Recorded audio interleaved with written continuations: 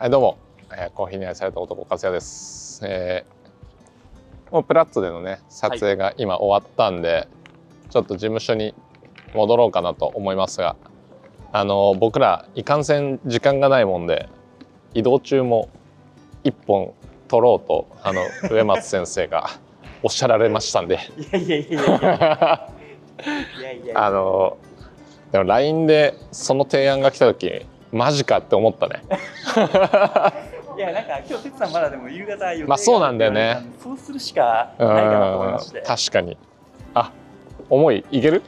大丈夫ですか、というわけであのー近況報告はい。とかしながら、あとコメントに来てた質問とかで気になったものとかをはい。ちょっと話ベースでまあ話していこうかな。でもこれめっちゃ良くない？このいやすごい綺麗ですよ。これだから土日とかはさ子供たちが野球とかやってんでね。すげえいいところ。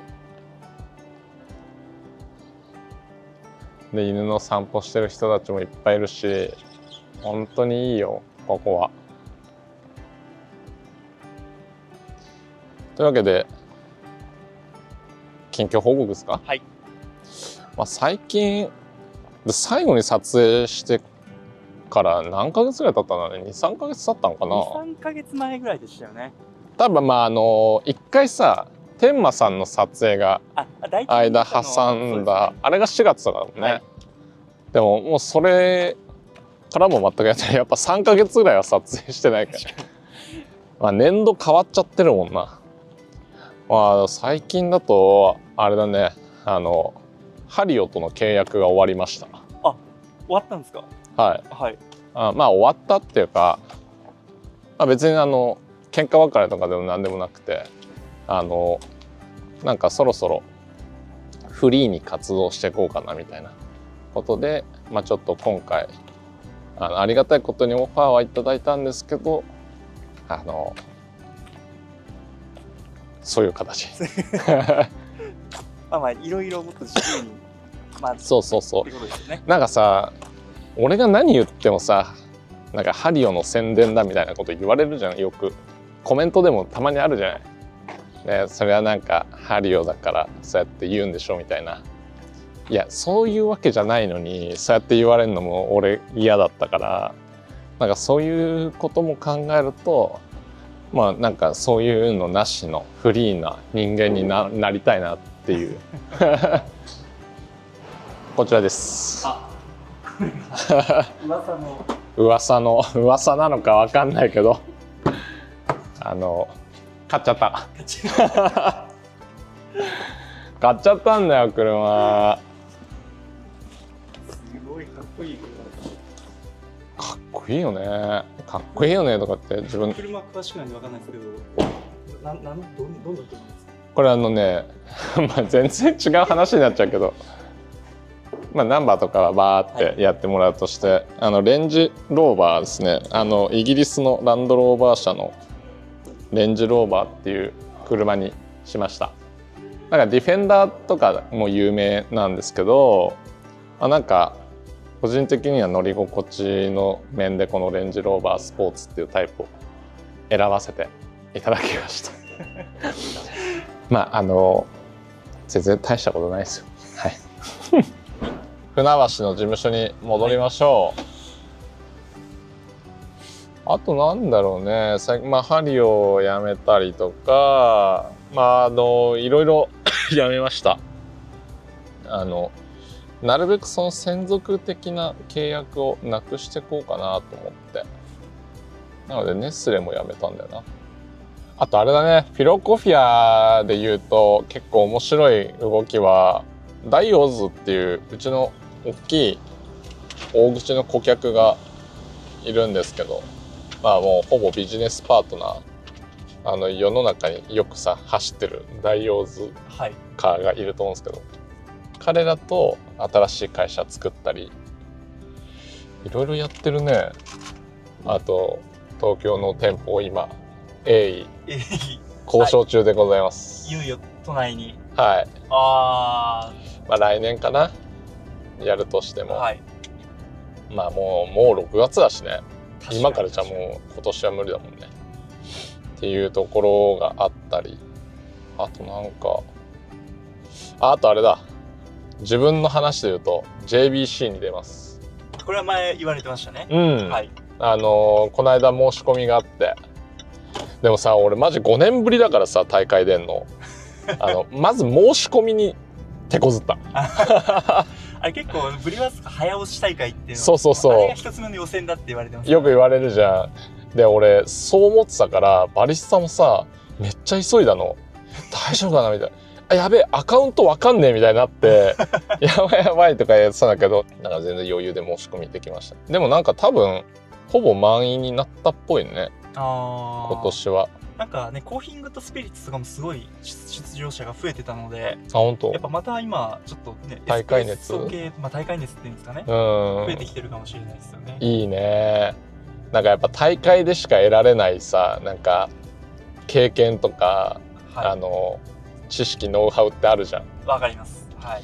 なんかね日々コーヒーと向き合ってる中でもやっぱ成長はできるのは間違いないんだけどやっぱ大会に出る過程でしか学べないこととかさそういうのってあるからやっぱりいいよなって思う。でなんか「えまた出るんですか?」って100%聞かれるじゃん 俺とかがさ大会出るよとかって言うと「もういいでしょ」とかって言われるんだけどなんかやっぱりふとなんで確かに自分もままだ大会に出たいって思うんだろうとかって思うけどあれだよね負けることよりなんか挑戦する気持ち失うことの方が怖えよなとかって思っちゃう。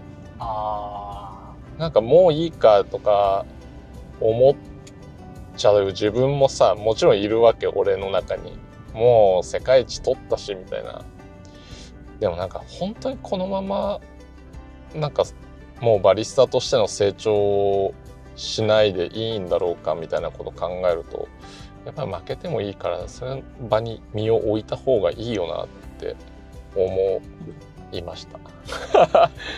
というわけで、すごい、挑戦ってすごい大事ですよねやっぱり。大事じゃないかな。なんかそう挑戦した結果に重きを置いちゃいけないんだよって思う。なんか挑戦してどんなに頑張ったって勝てるのは一人じゃんとかっていう人もいるかもしれないけどでも挑戦した過程で成長することは全員ができるわけじゃん。だからなんか挑戦すること自体にすごい価値があるよなって俺は思うんだよね。だからなんか努力したって報われないみたいなこと言う人もいるけど努力したらその過程でもうすでに報われてんじゃんって思っちゃうね。ああなるほど。うん。だからやっぱり出た方がいいよな。でもまあそのうち俺もささすがにまああと10年も出れるわけじゃないじゃん。なんならあと出ても2回ぐらいだからあと2回ぐらいだけちょっと頑張ってみようかな、まあ、できたらもうこの1回で終わらせて。まあでも終わらせられそうなポテンシャルが哲さんに絶対ある気がするんですけども。いやまあ頑張りますけどね。あの本当に。できる限りのことをして悔いのないようにやります。負けても言い訳せず。はいやりたいと。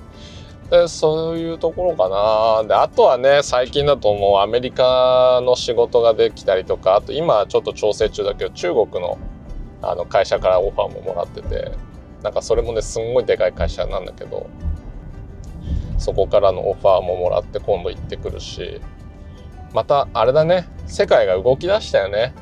そうですよね、はいだから結構海外出張も増えてくるね大変だよ。子供の成長を見たい。それ今しか、ね、見られないところですよね。もう超可愛いもんね。本当に。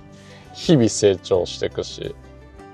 だからなるべくなら日本にいたいと思うんだけどなんか頑張りたい気気持ちもあるしなんかその辺が葛藤ですね父親としてと。経営者としてと。一バリスタとしていろいろ葛藤はしますね。ここ何ヶ月かやっぱり。でもまあ全部完璧にこなしたい。だってあのアメリカのアンドレアってあのオニキスコーヒーのさはい。オーナー？ああはい。彼女なんて子供2人いて WBC2 位になってるし。オニキスやってお母さんやってそれでバリスタで世界2位まで行ってとか。すごいですよねそう考いやえると。マジ意味わかんないと思う本当に。あんなでかい会社にしてさ。まあ旦那とのね共同経営だったと思うんだけど。まあでもすごいよ。ねしかも確かさあの妊娠中にも大会出てたよ。すごいです。アスリートですね。いやもうマジすごいと思うさリアルなスポーツのアスリートだったらそれできないけどバリスタならできんだって思っちゃう。確かに。まああんまりコーヒーとかねカフェイン摂取は良くないかもしれないけどでもアンドレアがそこまでできんだったら俺だってできるよなとか思っちゃうからやってみます。応援してください。あのアンチコメントとかいらないから。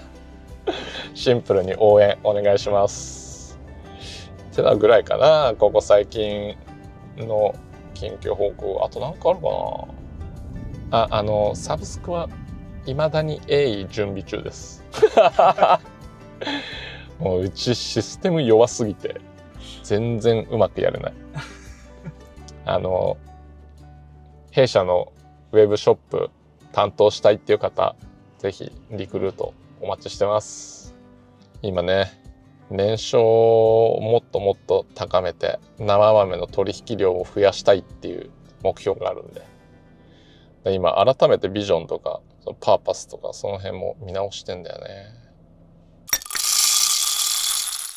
でなんかもらってた質問があるんだよね。はい。まあ過去3ヶ月分のうん。まあちょっとなんかこれはまあみんな共有してもいいかなって思えるような質問をちょっとピックアップしてみたんですけど。ありがとうございます。じゃあちょっと言っていきましょうかね。あの上側からで。まあ今まで多分哲さんが言われたようなこととも重複してる部分があるかもしれないですうんうんうんでまあまずタイムモア C2 ではダメですか？Amazon で8000円で買えます。コマダンテは高価で手が出ないんですけど。ああいやあの全然いいよあのねコマンダンテはやっぱ俺のお気に入りだけどでも別にタイムモアあの今もしそのすごく安いミルとかを使ってるんであればもう8,000円ぐらいでタイムモア C2 を買った方がもうクオリティは爆上がりするよね。もう尋常じゃなくコーヒー美味しくなると思うよ。だそのぐらいあのグラインダーはお金を出す価値があるからもし迷ってるならもう即 C2 買った方がいいと思う。あの一切お金はもらってません。あタイムモアとは仲いいんだけど俺。でも別にあの宣伝してねとか言われてないし。だってあれマジでさゲームチェンジャーだったよね。この市場の、そうですよねまあ、コマンダンテが出た時もこの世界はさ一変したと思う。だからやっぱコマンダンテみたいなのがドーンと出てくるからそういう後発のが一気にバーって広がっててその中でもタイムモアはやっぱり素晴らしいよね。あの価格であのクオリティのグラインダー作れってやばいよね。日本でやってほしかったな。はい。はいじゃあ次いきますあの結構ちょいちょいコメントがあるんですけど電動を見る、ま、あのやっぱりこうご病気で手がやっぱり不自由な方とか、うんまあ、やっぱりそういう方からすると手動より電動の方がいいっていうコメントで、まあなんかうん。唯一じゃあ今一つ哲さんが電動ミルでおすすめをあげるならばとか。家庭用でしょ？はい。だとしたらやっぱり俺はもう終始今まで一貫して言ってんのはもうウィルファあ確か2万から3万ぐらいで買えたはず。あとなんならうちのウェブサイトで買えるんじゃない？在庫があればだけど。ウィルファーのグラインダーが最強じゃない？って思う。もうデザインもいいしは場所もそんなに取らないし価格も23万円台だしで味もいいし。だから俺が普段愛用してるのはウィルファー。まああれがい一択。一択。って思ってる。今のところね。あただなんか最近すっごいいっぱいある。確かに。電動グラインダーも。だからまあそこはもう好みだけど、まあ、俺が実際に使ってみていいなって思うのはウィルファーかな。ちなみにカリタの C90 はどうですかってコメントも聞いたりするんですけど哲さん使われたことはありますか？ないです。じゃあこれはノーコメント。まあわからないですよね。わかんない。なんだろうねそれ。プロペラ式？ちょっと私も今ちゃんと調べなかったからわからないんです。けちなみに電動の中でもさあのプロペラ式のグラインダーもあるじゃん。あの、はい本当に古くからあるようどあな、あ本当にプロペラが回るそうだけバーってあの粉砕するだけのやつ。あれは絶対やめた方がいいよね。そうですね。あれはもうコーヒーを入れるためじゃないよね。あれはなんかミキサーみたいな。そうそうそうそう。そうだからあの流動分布って言ってあの引き目の揃い方はもう壊滅的だから別になんかあの悪く言いたいわけじゃないけどやっぱコーヒーを入れるっていう点においてはえ向いてないよねプロペラ式は。なのでそれはもう本当におすすめしないです僕は。はい。はいじゃあ次、えーこれ多分ファミマだと思うんですがカフェフラッペ今年はないんですかね？残念ですないらしい。ないんですか？そう。俺もこの間聞いて今年はない。えー、でもその埋め合わせじゃないけどいろんなコラボのフラッペやってるよね。ああまあ確かに確かに。いろいろやってますよね、まあもったいないけどね。あのカフェフラッペうまかったからね。まあというわけでないです。ない。わかりました。ちょっと次なんかこれは面白そうなポイントなんですけどうん。お湯を入れるときは右回り。入れ終わって攪拌するときは左回りそこに意味はありますか？自身でも試してみますが粕谷さんが意識してそうなってるのか疑問に思ったので初コメントさせていただきますえっとね注ぐ時右回りなのは別に意味ないかもしんないな。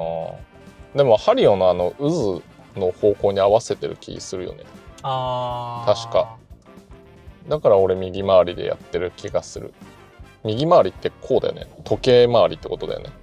そうですね右回りおそらくねそうですはいで別にそれ逆だからってどうなるわけじゃないと俺は思ってるよ。うん、ただそそこを結構言う人もいるの。なんかあの宇宙の法則で左回りにすると液体が甘くなるらしいですよみた いな、いへやもうーこれは分かんないですあーもうわかんない。それはデータ取ってください。あのセンサリーの部分はねそうあんま信用できないよね。うんでえっと攪拌する時は逆回転っていうのは多分こう半時計回りにそうサーバーをこう揺らしてるってことだよね。あれはな一種のテーブルマナーだよね。あのワインとかもさあの絶対体の内側にやりなさいって言うじゃん。で右手でやるときにこの時計回りでやるとこぼれるときに隣にいる人とかにかかる可能性があるんですよ。でもあの内側にやってる時だと最悪自分にしかかからないから確かテーブルマナーとしてそうやってやるはず。だから左手でやるときはもう逆になるよね。俺左手使わないけどっていうだけですね。はい。じゃあ、え毎日46メソッドでコーヒーを入れていますこの方法のおかげでいろんな豆を楽しめるようになりました質問なのですが粉の量が 50g などでも時間は3分半でいいのでしょうか？はい、いいです。あの基本的にはやっぱりその3分半ぐらいでネガティブな味が出てくるようになるって俺は考えているのでなるべくそこを超えない方が良い。なので 50g とか、まあ、もっと言ったら 100g とかそういう場合はあのどんどんどんどん粉の引き目を粗くしてください。それであのお湯の抜けをコントロールして3分半で終わるようにしましょまあ、これちょっと連動するようなコメントですけども、うんえっと、豆量を倍にしたらうん湯量時間も倍になりますかっていうことですけどこれはもう今の回答でいくとう。そう湯湯量は倍になるけど時間は同じになるように引き目をコントロールしてください。だから量が減った時も同じ。量が減ると早く終わっちゃうからちょっと細かくする。えーじゃあ次、パークリングコーヒーって哲さん前動画上げられてたと思うんですけど、あそこに来てたコメントで、うんまあ、あのあんまり動画上げている人いないからコーヒーかけるフルーツのレシピ作ってほしいなっていうコメントだったんですけどじゃあ哲さんが仮にフルーツコーヒーじゃないですけど、コーヒーに何かフルーツ合わせるなら何がいいとか。これめっちゃタイムリーだね。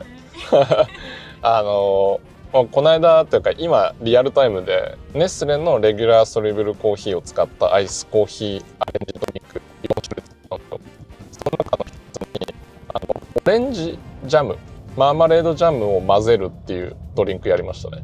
あー美味しそうですね。そう。なんかコーヒーと柑橘系って割と合うよね。特にアイス系でまあ今回選んだのはナッツ系の味わいのコーヒーにオレンジジャムを混ぜるとかだったんだけど例えばあとケニアとかとオレンジ系も合うよね、うん、柑橘系。なのであ全然やってもいいよ。なんなら今日撮影する？やりますか？うん。あのーそのネスレのレギュラーソリブルコーヒーいっぱいあるから。じゃあ。ちょっとやってみようかな、はいあのオレンジジュースと混ぜてもいいんじゃないかなって俺思う。あの実際のフルーツ使わないで。じゃあ次、えーまあ、これも昔ですけど一等式のレシピの動画をあの上げられてたと思うんですけどうも、んうん。まあ、一等式でアイスコーヒーを入れる場合のレシピを知りたいですと、まあ、お湯の量を減らすだけでいけますかっていうコメントなんですけどこれはどうでしょうか？結構それってむずいんじゃない？っていうのもさなんかあれ一等式ってやっぱりその効率的に蒸らしができないからブリューレッを粉対お湯の比率がさ1対12とかになるじゃんあれ。でアイスコーヒーだとさらに濃くしなきゃいけないから1対8とかさ粉量をすんごい使わなきゃいけなくなるから俺おすすめしないかなもしやるんだったらあの一等式で作ったコーヒーをあのちょっと粗熱取って冷蔵庫にしまってあの冷えた状態で飲むのが理理想的かもなんかすごい古典的な喫茶店とかはそうやってアイスコーヒー作ってたらしいね。なんかあの米田コーヒーとかうん。なんかそんな感じで作ってるっていう噂を。あそうなんだ。違うかもしれないです。うけど、ん。はい、そうそうそう。なんかね急冷式は氷の上にバーってやるけどあの普通に作ったコーヒーを冷やして飲むっていうのが昔からある手法らしいんだよね。だから多分それが理想なのかもしれない。はい、はい。試してみてください。えーじゃあ次いきます深入りのコーヒー豆なのに膨らまないと古い可能性があるということでしょうか？まあ一概には言えないから断言はしたくないけどその可能性は限りなく高いよね。やっぱり深入りってことはもう相当ガスを含んでるはずなのでそれでも膨らまないってことはもうそのガスが自然と抜けちゃってるってことだから考えられるのはやっぱり焙煎日から相当日が経っちゃってるってことなんじゃないかな。あとは粉にしちゃってる状態で結構日が経ってるかってことだと思います。はい。えースタバのウイスキーバレルエイジドコーヒーがめちゃ美味しいのですが、家で美味しく入れる方法を知りたいです。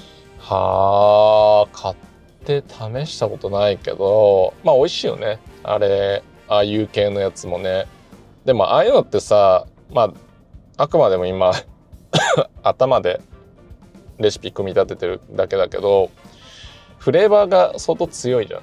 でそういう時にあのまずくなる一番の原因は前にも言ったけどあの濃すぎると飲めないと思う結構。なので少し薄めに作るのがコツな気がする。ならいつもよりちょっと粉量を減らしてみるとか、まあ、もしくはいつもと同じように入れて多分ちょっときつめの味わいになるじゃん。あのバレルド系って。なのでお湯を少し足してあの伸ばしてあげる。そうすると一気に美味しくなるんじゃないかな。やってみてください。じゃあ次これは多分海外の方のコメントなんですけども、まあ、日本語に訳すとお好みのコーヒーフィルターペーパー、まあ、コーヒーフィルターはペーパーは何ですかっていう。難しいね今って結構世界はさペーパーフィルターで味をコントロールすることも主流になってるからその1個じゃないよね。使い分けになっちゃってるかもしれない。だからあのーやっぱりシバリストとかああいうすごい抜けが早いペーパーフィルターは選択肢としてはやっぱり常にあるよね。やっぱ細かく引いてあの早く抽出を終わらせてっていう手法はやっぱり今結構ブリュワーズの世界だと多く使われるものなんでシバリストとかもやっぱりもちろん好みの一つになるかな、はい、あとはまあいつも通りの抽出ができるっていう点でハリオの純正ペーパーは好きだね。これは多分コンビニのコーヒーだと思うんですけど、まあえっとセブンイレブンとかスタンダードとか濃いめが選べ選べますが、まあ、これは TDS とかで区別化こう区別をつけられているのか、まあ、要は開発の裏側的なところなのかもしれないですけど。ああどこまで言っていいんだかわかんないけどでもシンプルに濃くしてる。あのレシピを組み立てながらまあいろいろコントロールできるポイントがあるので味を。なのでそれで濃くしてるね。ちゃんと。同じ濃度ってことはない。一旦これ最後の質問ですね、うん無限ドリッパーと紳士式合体させたドリップ方法はないでしょうか？ああるよ。別にあのー結構もう世界ではみんなやってるよね。この間のワールドブリワーズカップでもフランス代表がそういうやり方じゃなかったかな、うん、彼女が確かスイッチの上をあの無限ドリッパーに切り替えてやってましたね。